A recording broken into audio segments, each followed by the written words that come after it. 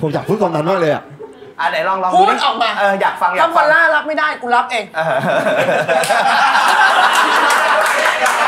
ถ้าสมมติเป็นภาษาอังกฤษนะถ้านึกออกแบบลอกแรกลอกแรกอะไรกลัวๆเลยนะล็อกเล็กล็อกเล็กเออ yes นะใช่ไหมแปลว่าใช่ เออ yes